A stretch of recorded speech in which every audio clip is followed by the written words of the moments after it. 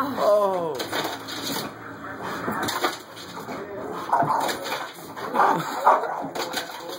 See, you know this, girl. You guys playing? Sissy, come here.